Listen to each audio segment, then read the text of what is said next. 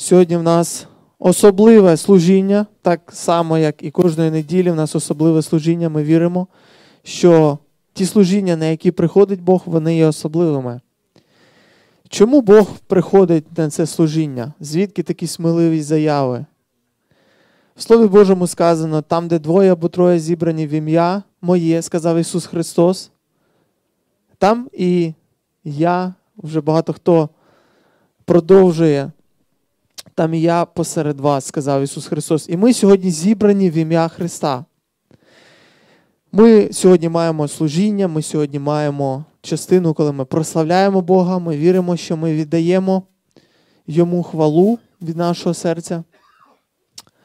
Ми маємо проповідь, ми віримо, що Господь говорить через тих людей. Сьогодні, в принаймні, я до цього часу молився, щоб Господь використав і сказав своє слово не від мого розуму, не мої знання, а те, що говорить Біблія, те, що Господь сьогодні хоче сказати. І тема місяця сім'я в нас, як вже багато хто з вас знає, нагадую просто. І сьогодні ми будемо говорити про сім'ю.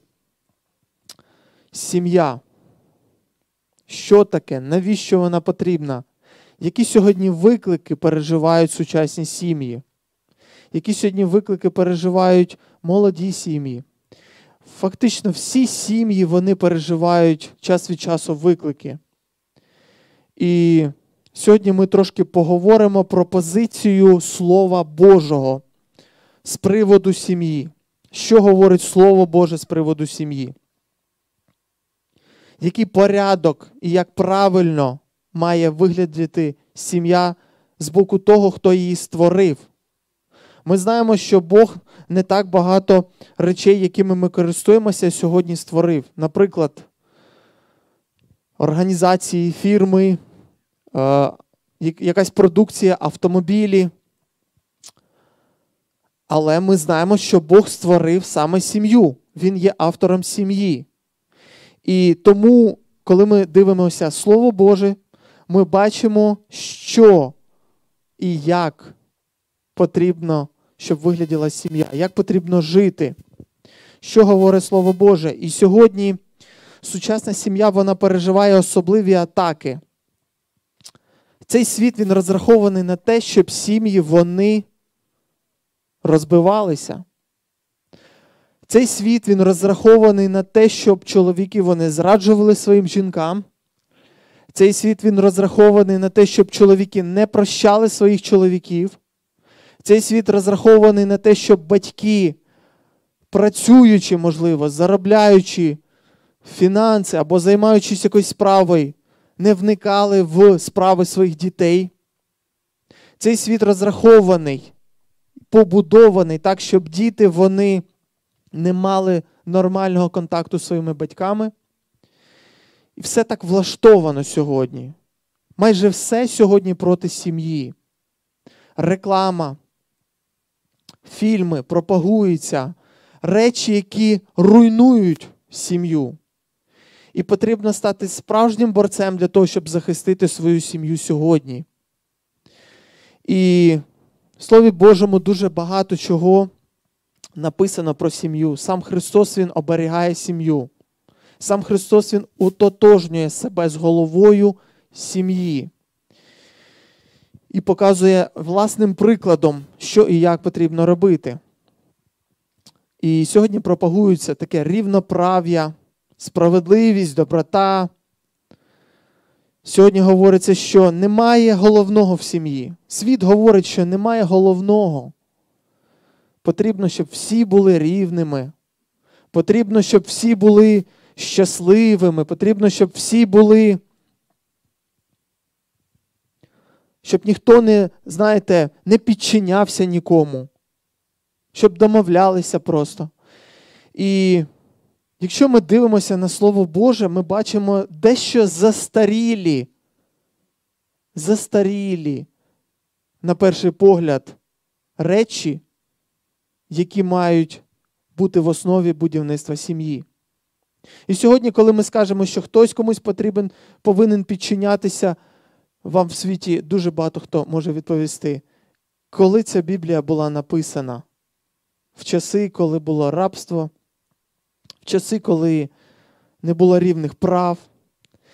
І люба організація.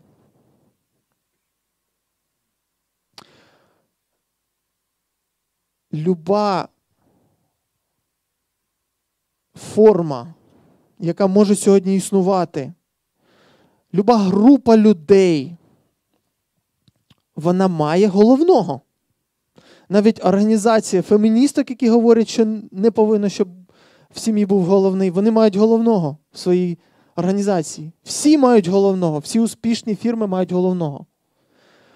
Питання щодо сім'ї. Чи потрібно, щоб в сім'ї був головний? Я розумію, що ці питання вони можуть, знаєте, лоскотати чиїсь нерви. Але я сьогодні говорю не від себе, слава Богу. Що якби я говорив від себе, ви могли б після служіння мені е, трошки, не знаю, пояснити, да, інакше. Я всього-навсього говорю те, що в Слові Божому ми сьогодні будемо зачитувати, зачитувати місця Писання. І сьогодні Бог покладає на чоловіка цю важливу роль бути головою сім'ї, священником в домі, відповідальним за стан положень. Сьогодні Бог, як і завжди, це була роль сім'ї, показує, що дружина вона має бути помічницею. І якщо ми все будемо робити по Слову Божому, вникаючи не тільки в букву, але й в дух закону, то ми будемо щасливими. Тому що так воно має працювати. Тому що так сказав той, хто створив сім'ю, автор сім'ї. Що значить бути головою? Декілька буде пунктів. Що значить бути головою сім'ї? Я задавався для себе цим питанням і міркував, але відповідь я знайшов в Слові Божому. Що означає бути головою? І перше, це справжній чоловік, справжній голова, він має над собою владу. Він має над собою голову Христа. Справжній чоловік це той, хто визнав над собою владу, визнав, що не він являється кінечною точкою, не він являється тим, хто говорить, що правильно чи неправильно в його сім'ї. Він має над собою владу і він підчиняється Христові. 1 Коринтян, 11 глава, 3 вірш написано. Хочу, щоб ви знали, що Христос є головою для кожного чоловіка. Для жінки голова чоловік, а для Христа Бог. В кожного є голова, навіть у Христа. Я вибачаюсь, 1 Коринтян 11.3. Я не знаю, чи я так сказав. 1 Коринтян 11.3. Щоб ви знали, що Христос є головою для кожного чоловіка. Я хотів би дати пораду, якої, можливо, хтось у мене не питав. Неодруженим жінка, е, сестрам нашим. Поки ще не жінкам. Сестри, ні в якому разі не виходьте заміж за чоловіка, якщо його головою не являється Христос. Тому що куди він приведе сім'ю? Він хоче дати руку, він хоче дати серце, але куди він приведе свою сім'ю? Він не визнає влади. Самі страшні чоловіки цього світу це чоловіки, які не визнали Христа головою над собою. Це самі страшні люди в цьому світі. Хто штовхає жінок на аборти? В більшості чоловіки. Корупціонери. Знову чоловіки більшості. Починають війни чоловіки, зраджують в більшості чоловіки, гвалтують чоловіки, вбивають чоловіки. І тому дуже важливо, щоб кожен чоловік він був слухняний Слову Божому. І він мав за голову Христа. Звертаюсь до чоловіків, брати. Якщо ти чоловік, хто є твоєю головою? В тебе обов'язково є голова. тому що в кожного чоловіка є голова. Питання, чи являється Христос головою в твоєму житті? Якщо не Христос, то хто це? Питання, що определяє твої самі важливі рішення або хто? Від чого залежить, де ти будеш жити, де ти будеш працювати, що ти будеш робити? Питання де? І тому це дуже важливо. Другий пункт. Перший це має головою Христа, другий любить. А любить це бере відповідальність в контексті Слова Божого. Тому що ми читаємо Єфесянам 5:25. Чоловіки, любіть своїх дружин, як Христос полюбив церкву. Брати і сестри, ми іноді недооцінюємо Слово Боже, і ми бачимо контекст, ми бачимо ці, цей вірш, його початок, там, де написано чоловіки любить своїх дружин. Але не так, як ви це розумієте, а так, як Христос полюбив церкву. Саме така форма любові мається на увазі. Яку церкву полюбив Христос? Нас з вами? Хто ми такі? Хто ми? Перелюбники? Так. Хто ми? Вори? Так. Брехуни? Так. Слухайте, ніхто з нас не шукає Бога. Всі згрішили, говорить Слово Боже. Немає праведного ні одного. Всі згрішили. Ми шукаємо Бога, коли в нас проблеми. Ми шукаємо Бога, коли в нас хвороба, якась ситуація. Ми шукаємо Бога. Але Христос полюбив церкву саме такою. І віддав себе за неї. Це буде наш наступний пункт. Ми переходимо. Третє захищає. І тут додаток цього вірша. І віддав себе за неї. Що зробив Христос? І ви знаєте, і сьогодні, якщо ми говоримо, що я так зробив дружині, тому що вона, я так сказав, тому що ми, чоловіки, дуже любимо оправдуватися. Я сказав так, тому що. Я не сказав так, тому що. Я зробив, я не зробив. Тому що. І якщо ми дивимося на Адама, коли він згрішив, коли його дружина згрішила, і Бог прийшов в Едемський сад і сказав: Адам, де ти? То Адам мав би вийти з тих чагарників, впасти на коліна і сказав: Господь, я згрішив, я не зберіг сім'ю, я не зміг зберегти свою сім'ю, і тому лукавий потрапив. Що робить Адам? Він перекладає відповідальність. Правда, схожа на нас, брати. Якщо бути чесними, такими є по нашій природі, але Христос показав нам новий приклад. Навіть коли Христос не грішив, Він сказав: Я за неї буду відповідати. Тому справжній голова Він захищає сім'ю. Захищати можна атмосферу в сім'ї. Це дуже важливо. Коли батько приходить додому, яка атмосфера в сім'ї? Потрібно всім швиденько кудись зникнути? Чи це радість батько прийшов? І ви знаєте, я пам'ятаю приклад.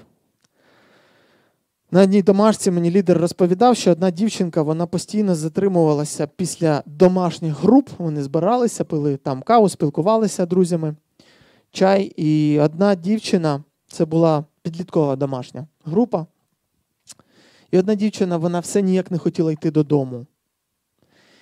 І вона не була сильно дурною, вона не приходила сильно рано. Але ось якось зовсім їй не хотілося повертатися додому. І цей брат розповідав, він говорить: я питаю, в чому причина, чому ти не хочеш. ну, Я так бачу, що в тебе, можливо, якісь проблеми вдома. І вона сказала: так, я не хочу там бути. Я після школи затримуюсь максимально, я десь хожу вуличками, тому що я не хочу бути в тій атмосфері. Голова сім'ї відповідальний за атмосферу своєї сім'ї. Відповідальний, щоб там не була атмосфера криків, матюків, тривоги, атмосфера пекла. Наскільки важливо дбати, захищати атмосферу своєї сім'ї. Захищати від батьків власних. Так, від власних батьків захищати. Написано Матфія 19,5 і сказав: тому залишить чоловік батька і матір і пристане до своєї жінки, і обоє будуть одним тілом. Іноді дуже такі дбайливі батьки, вони хочуть допомогти своїм діткам в подружньому їхньому житті. Вони хочуть, щоб дітки, можливо, не так далеко жили, а можливо, давайте ви в нас поживете. Вам же ж дешевше буде. Як ви будете знімати цю квартиру? Платити більше будете. Ми вам по пільговим цінам будемо розділяти. Так платити більше, якщо жити окремо. Так іноді потрібно з повагою сказати батькам і захистити свою сім'ю. Захистити, щоб в Слові Божому написано залишить чоловік батька і матір. Залишить чоловік батька і матір буквально означає залишить чоловік батька і матір. І ми, як добрі християни, ми можемо подумати, що це означає щось інше. Ні. Саме те, що написано. Захищати від дітей. Ви знаєте, діти це ще ті спиногризи, які, коли батько відсутній, вони так можуть, знаєте, матері докучать добряче. І, ну, батька, можливо, бояться, а мати, ну, я пам'ятаю, як в нас було це виховання. Чесно кажучи, не сильно боявся я, коли мама брала ремня. Ну, це було, знаєте, щось таке. Ну, ну спробуй. І хоча в нас були красні лінії, я пам'ятаю, яка фраза така була, знаєте, після якої могло прилетіти. Коли мама довго зве дитину, да? нас звали довго. І ми довго не чули. Не чули. І думали, я думав, чого мама мене так часто зве? Ну, що знову? І коли я приходив, я міг сказати, да, мама. А коли я був дуже злий, то я міг сказати, що ти хочеш? І все. Я розумів вже, що, можливо, прийде батько і буде бесіда. І потрібно навчити дітей поважати. Зараз в даному випадку ми говоримо про чоловіка, навчити поважати дружину. Навчити розумінню, що королева в сім'ї одна це мама, це не діти, не вони царі й королі. Ви знаєте, сучасне, сучасна спільнота говорить про те, що діти це центр всього. Іноді мені здається, що моя донька це центр всього. Принаймні вона так себе відчуває, це точно. Але Слово Боже говорить, що ми маємо навчити дітей повазі. Це говорить Слово Боже. Я такий радий, що я сьогодні не від себе говорю. Слава Богу. Від чого ще потрібно захищати свою сім'ю? Від комплексу неповноцінності. Ви знаєте, що по статистиці кожна жінка дивиться на себе в зеркало кожного дня, і з часом вона дивиться і, і можливо, думає, який жах я постаріла на 8 годин. Який жах? Щось зі мною, можливо, не те. Навіть якщо там все прекрасно, це психологія жіноча. Кожна жінка, вона нуждається в словах. І тому ми, як чоловіки, ми маємо захищати, ми маємо не просто думати, ми маємо не просто, знаєте, е, я працюю, приношу фінанси, тим я доказую любов. Ні, це твій обов'язок.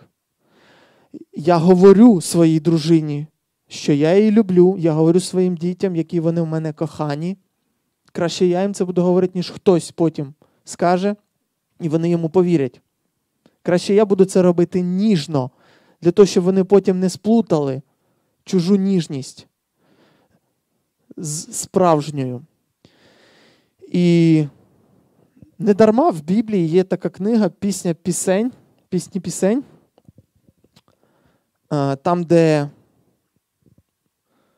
мабуть, Давид написав, і він оспівує Соломон, так, можливо, оспівує красу своєї дружини, і він оспівує в ній все, починаючи від волосся, потім лоб, очі, вушка, губи, шию, далі не будемо.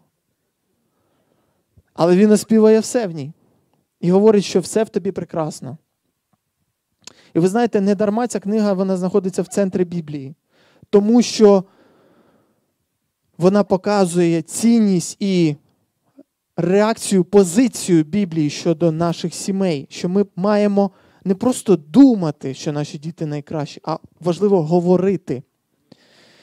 Тому важливо захищати від комплексу неповноцінності, захищати серця своїх дітей, своїх дочок, навіть синів. Ви знаєте, мені дуже не подобається, коли дехто з батьків він вважає, що от, знаєте, це такий е, один із поганих наслідків від Радянського Союзу, що там дівчат виховують можливо, е, майже як хлопців, знаєте, там так прихлопуючи їх, ніколи не обійнявши, ніколи не сказавши їх темп, їм теплих слів. Потрібно захищати серця своїх дітей. І час від часу якісь реп'яхи можуть понечіплятись туди. І завдання чоловіка саме слідкувати. Тому що сказано, що захищає чоловік свою сім'ю. Слідкувати, щоб нічого не прицепилося до серця дитини, щоб ніякий гіркий корінчик, ви знаєте, ніякий такий, як так сказати, поганий хлопчик не причепився до серця. Тому потрібно охороняти, оберігати серця. Що значить бути помічницею? Тут простіше, тут менше пунктів. Перше це повага до чоловіка. Єфесянам 5:33. Тож кожний з вас нехай любить свою дружину як само себе і наше ключове місце, а дружина нехай боїться свого чоловіка. Мається на увазі глибока повага. Я пам'ятаю, коли я був в гостях, за столом ми сиділи, і знаєте, якась така вже була навіть неприємна відверта розмова серед друзів в цьому столі. В чому була ситуація? Сиділа жіночка з чоловіком навколо її подруги, і вона публічно, так знаєте, соромила свого чоловіка, порівнювала його з іншим при в його присутності. Говорила, коли ти мені вже обіцяв купити шубу, ну це таке, це нормально. Це жарти. Але потім вона почала почала його порівнювати. От дивись, ось купив. А, Мої подрузі вже чоловік купив, хоча ти раніше обіцяв, і тут вже стало, знаєте, трошки напружена атмосфера. Можливо, для мене. Можливо, у них це норма в їхній сім'ї. Але я так дивився, що чоловіку не зовсім то й приємно було, коли вона почала продовжувати.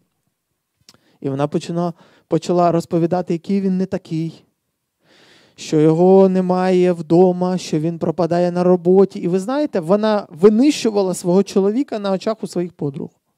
І це десь також є такий наслідок, спадок нашої радянської культури. От таке, знаєте, така відвертість така. З жартами, да, типу, всі свої, знаєте, можемо тут побалакати колективно. Насправді, чоловікові цього не хотілося б бути краще це я вам скажу 100%. Насправді цьому чоловіку хотілося на наступний день, можливо, від такої дружини триматися подалі зі своїми друзями, не приходити додому. І в притчах сказано, що дурна жінка вона безчестить свого чоловіка. Друге це допомога чоловікові. Буття 2.18. І сказав Господь Бог: недобре бути чоловікові самотнім. Створимо ж для нього, е, створимо для нього помічника, такого, як він. Тепер дивіться, дещо змінилось. Сьогодні здається, що кому потрібна більша допомога? Дружині чи чоловікові? Сьогодні. Таке враження, да? от я ось коли приходжу з роботи, питання, буду я допомагати своїй дружині по домашнім справам, з дитиною, з якимись питаннями. Але Слово Боже говорить, що помічниця створена була для Адама. В чому ж йому допомогти? Він приходить після роботи, уходить, в чому йому допомагати? Але ціль, в принципі, сама перша була думка, навіщо Єва з'явилася, це потрібна була допомога. В чому допомагати? Ну, ви знаєте, я вам скажу, що від помічника дуже багато залежить. Іноді від розумного помічника більше залежить, ніж від господаря. Мудрого, мудрої помічниці. І одне із в чому потрібно допомогти чоловікові, щоб в нього не було спокус. Це важливо. Якщо дружина, вона вона все січе, вона все бачить, коли, куди чоловік подивився, що він прийшов, якийсь такий чи не такий, який настрій. У жінок дуже, знаєте, такі ці радари, вони дуже гарно улавлюють ситуацію. І дуже важливо, щоб жінка не просто з осудженням підходила до потреб чоловічих. Типу, що це йому потрібно одне і те саме, якийсь маньяк, хоч би якось не знаю. По-людськи це все. От. А то так і все. Животне, да? Але насправді реально чоловіки вони знаходяться під такою атакою. Їх атакує реклама, їх атакує кожен фільм. Повірте, ми переживаємо набагато більше атак, ніж ми могли би вам розказати, жінки. І тому ми нуждаємося в вашій підтримці і допомозі. Жінка, яка стане коханкою для свого чоловіка номер один, вона зможе захистити, принаймні вона зробить з своєї сторони те, що вона має зробити по Слову Божому. І ви знаєте, тут таке питання: а чому це мене має хтось використовувати? Чому це я комусь щось винна? Але це питання не позиція любові. Це питання не позиції віддавати. Це знову будемо на себе тягнути одіяло. І допомогти виконати предназначення від Бога. Приклад розкажу: у мене був брат, який служив Богу, був занурений, знаєте, він так переживав за спасіння. Е, він служив відносно таким людям, які не дуже наближені до церкви, і там працював з ними, намагався все, щоб там, знаєте, щоб ці люди якось пізнали Бога, свідкував їм. Його серце горіло служінням Богові, його серце горіло служінням людям. І він їй сподобався, але в неї була інша ціль життя вона була, знаєте, більше налаштована на те, щоб життя склалося. Можливо, це непогані бажання. Але цей брат, який одружився на ній, поступово почав залишати все, до чого, знаєте, його рука так була е, протягнута для допомоги. Вона почала йому говорити, чому ти повинен допомагати друзям, а хто тобі допоміг? Вона почала говорити, слухай, е, я я бачу, вона почала вдохновляти, але на інші речі. Я бачу, що ти можеш заробляти більше фінансів. Тобі Бог дав розум, ти витрачаєш трошки час. І знаєте, я бачив, як його серце ставало менш щасливим, але він був як людина більше, нібито успішніший. І я розумію, що як багато від жінки залежить, чи виконає чоловік свого предназначення. Тут потрібно, щоб двоє працювали на одне діло. Тут потрібно, знаєте, іноді, щоб дружина сказала своєму чоловікові, давай вставай вже з цієї кроваті. Іди там, допоможи. Ну, іноді треба. Ми ж чоловіки, ми такі. Ми любимо там. Може, не всі, я один такий. Поспать там любимо, да? Е, Іноді дружина вона може мобілізувати. Я пам'ятаю приклад. Е, один місіонер, який відкривав церкви, він так говорив: якби не моя дружина, я би цього не робив. Вона мене вдохновляла, так в мене це виходило робити. Це тоді, е, знаєте, це були такі часи в Америці, коли християнство воно тільки прийшло, коли воно тільки розповсюджувалося. І він е, пам'ятаю, розповідав, що каже: ми там відкрили церкву, поставили пастора, так, так, таке в нього було служіння. І говорить, і потім я вже, знаєте, я думаю, потрібно хазяйством е, займатися. А дружина говорить, ні, ще там люди не знають Бога, ще там люди не знають Бога. І він говорить, і завдяки моїй дружині е, ми це робили. Так бажання було, але потрібен був повштовх. Потрібно було. Е, а? Підтримка, так. Вдохновення, хотів сказати, по-українськи, як буде? Натхнення, мотивація. Да? І тому дуже важливо допомогти чоловікові виконати предназначення від Бога. Добре, яка роль батьків? Бачите, як коротенько у нас все, і ми вже закінчуємо. Роль батьків Єфесянам 6.4. А ви, батьки, не дратуйте своїх дітей, а виховуйте їх у послугу та вченні Господа. Як можна дратувати своїх дітей? Знаєте, я цей, це саме странне слово в цій главі. Чоловіку написано, щоб він любив, дружині, щоб вона слухалась, все логічно, батькам, щоб не дратували. Не дратували дітей. Номер один. Не дратуйте дітей. Що означає дратувати дітей? Ну, ви запитайте у дітей. І знаєте, не дуже приємно таке, правда, робити? Тому що ми стаємо вразливими, коли ми такі питання задаємо. А може діти щось скажуть не те, а добре, забудь. Я просто я пошутив. Насправді, в чому ми можемо дратувати дітей? Дратувати це не вислухавши давати поради. Це дратує дитину. Коли батько або мати не знає ситуацію і вже дала їй пораду. Вже знає краще, автоматично. Все. Це те, що закриває серце. Не промовляючи добрі слова, вимагати послуг. Дуже багато батьків так роблять. Вони не говорять слова любові, ласки, не торкаються своїх дітей, не ласкають своїх дочок і думають, що в командному тоні вони після цього мають на щось право, не виконуючи свою частину, вимагають від беззахисних дітей. Ви знаєте, сьогодні дитячі серця розбиті. Дуже багато, покоління ціле. Ми нуждаємося в тому, щоб нас хтось навчив бути батьками. А це ж майбутні наші діти, да, які, можливо, отримали рану, які отримали якісь вимоги незаконні від нас. Це ж майбутні чоловіки і жінки. Це ж ті, хто будуть будувати сім'ї, які сім'ї, яке суспільство ми збудуємо. Питання. Тому важливо бути відвертими, мати відверті розмови не боятись, переступати через себе. Можливо, незручно говорити якісь слова. Почати практикувати. Все, що тяжко дається, з практикою буде легше даватись. Друге турбуватись. 1 Матвія 5.8.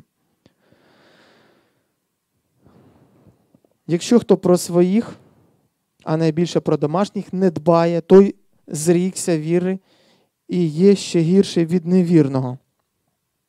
Це такі, знаєте, банальні питання, але це те, що говорить Біблія, і те, що потрібно робити. Ходити на роботу.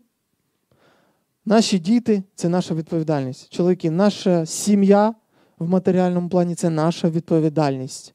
Ніхто від нас цієї відповідальності не забрав. І тому, знаєте, коли хтось хоче одружитись, але він не має роботи, то це спокуса, а не бажання дружитись. Тому що питання, що він дасть? Стабільність, яку він дасть. Як він любить свою дружину? Він себе хоче для себе дати, а потім викрутимося разом. Да? Ні, має бути як мінімум.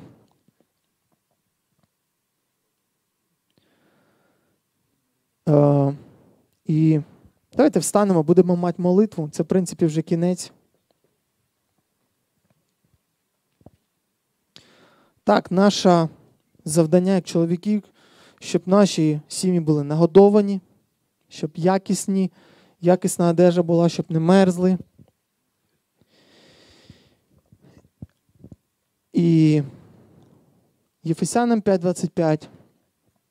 Ще раз хочу зачитати. Чоловіки, любіть своїх. Тут ключове слово своїх. Тут важливо не переплутати. Дружин, як Христос полюбив церкву і віддав себе за неї. Яку церкву полюбив Христос?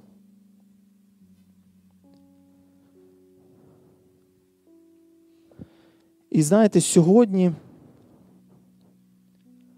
ми отримали те, що ми би не мали отримувати. Ми отримували, ми отримали зараз можливість на сьогоднішній день. Тому що Христос Він прийшов і сказав: Я заплачу. Я заплачу за церкву. Тому що я кохаю її, тому що вона моя наречена. І ви знаєте, дуже цікаво. Сьогодні я так дивлюсь на позицію деяких віруючих братів, і вони шукають собі, знаєте, дружину, щоб вона була там з бездоганною репутацією, щоб в неї там з минулим все було.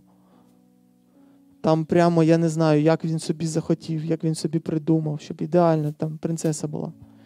Але питання: Христос, який в нього був підхід, які в нього були критерії до своєї нареченої?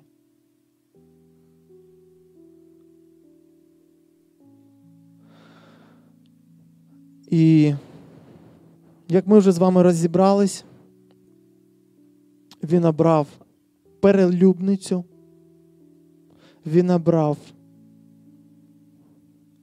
ту, що його, можливо, відкидала, ту, що грішила.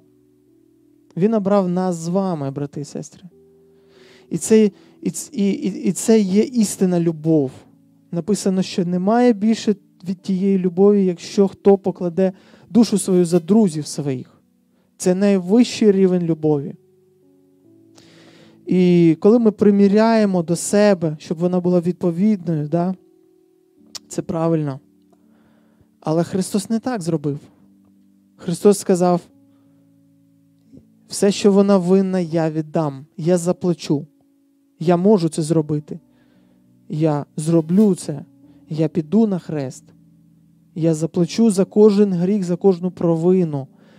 Я помру для того, щоб вона мала можливість отримати зцілення, звільнення і прощення. Ось де корінь любові, тієї любові, яку ми можемо являти в наших сім'ях. Господь вчить нас прощенню одне одного. На цьому прикладі Христа. Так як Христос полюбив церкву. Він полюбив церкву без умов. А якщо без якщо, взагалі без ніяких умов він полюбив. Тому що ми з вами зробили всі гріхи, які тільки можна було уявити, як мінімум в своїй голові. І ті, кого спас Господь на сьогоднішній день, я думаю, там повний спектр всіх гріхів був. Повний список. Тому, друзі, зараз у нас буде ця молитва. По-перше, ми помолимося, щоб Господь Він наш наші сім'ї укріпив, щоб Господь дав нам і навчив нас бути прекрасними, прекрасно виконувати кожну свою роль в наших сім'ях. І дав нам розуміння і любові, яку ми не маємо, той більшої любові, яку ми не маємо. Тому що якщо ми звертаємося до першого пункту, має головою над собою Христа чоловік, то Христос дає можливість любити. Якщо він не має голови Христа, то чоловік любить тільки людською любов'ю. Любить дітей інстинктивно, тому що це його продовження, тому що це його. Розумієте, але безумовно тільки Христос може дати любов, показати більше. Тому давайте помолимось. Господь Бог, ми вдячні Тобі. Ти бачиш, Господь, що в цьому світі так багато розбитих сімей, так багато людей нуждаються в тобі, Господь, так багато дітей, які, Господь, ображені навіть батьками своїми, Господи Боже наш. Ми просимо Тебе, благослови, навчи нас бути прекрасними сім'янинами, Господь, для того, щоб в наших сім'ях панував мир, радість, порядок Твій. Боже, ми просимо Тебе, благослови, Господь Боже, щоб в наших сім'ях була прекрасна атмосфера радості, Господь. Ми нуждаємось в Тобі, наш цар Бог. Ми нуждаємося в Тобі, наш Спаситель. Ми віримо, що Ти є Бог всякого доброго даяння. Господи, ми, чоловіки, сьогодні визнаємо Тебе своїм головою. Будь нашим головою, Господи, в всьому. І допоможи нам виконувати свою роль, так як Ти цього бажаєш, так як Ти це задумав, Господь, щоб наша сім'я вона була щасливою. Амінь.